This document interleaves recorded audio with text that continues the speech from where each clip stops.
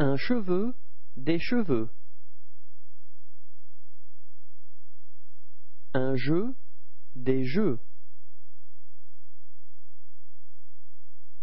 Un neveu, des neveux. Un feu, des feux. Un adieu, des adieux.